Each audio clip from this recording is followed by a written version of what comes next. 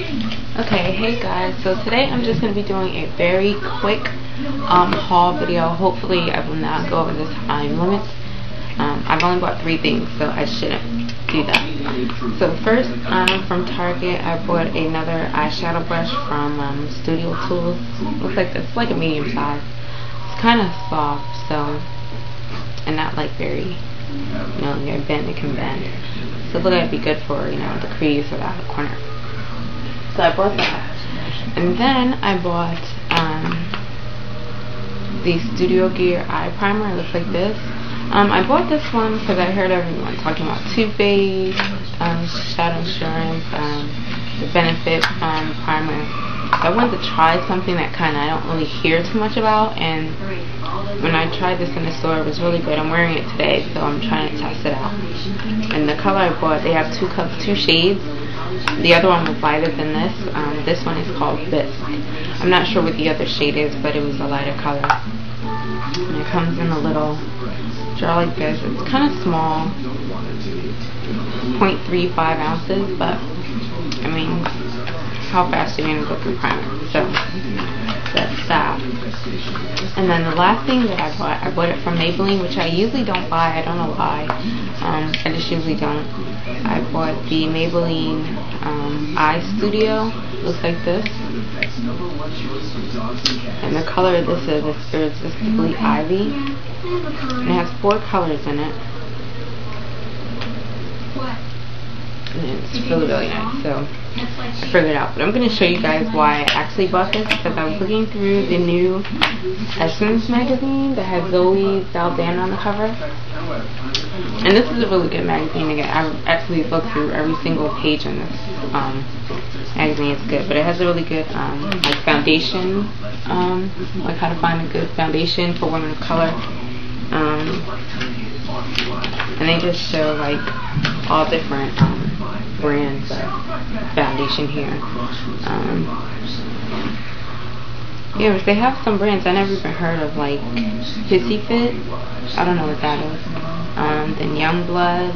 Um, they have the Maybelline in here, the Photo Ready Clinique.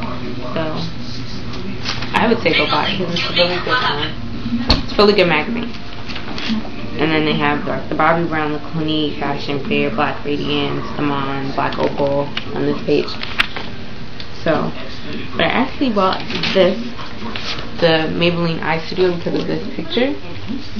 And I thought it was a great, great look. Like she has the gold on the inner corner, the green on the outer part of the lid and under the eye.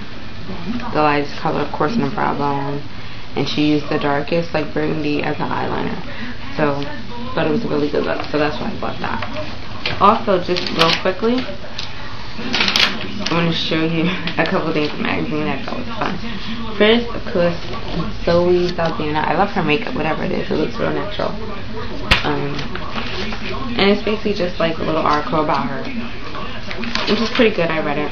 And then I'm going to show you the Single Man of the Month. This is the April edition. Yeah. That's the single man of the month. So definitely get this magazine if you're single. And you can email him. Just email David now and has like an email address you can email him at. Yeah, definitely check this out. I'm not going to make any comments because I have a boyfriend. But definitely, um, if you're single, pick up this magazine so you can get the email. I'm not going to tell you the email. I want you to go buy the magazine and actually get it. So, that's that. And, um, yeah, so that's it. So, I love this magazine. I'm going to keep it. My mom gave it to me because um, she knew I like makeup and she had, had that section in there. Um, so, yeah, that's why I bought it. So, definitely check this magazine out, pick it up. Um, support the black, you know, magazines, especially if you're a woman of color, man of color, I don't care.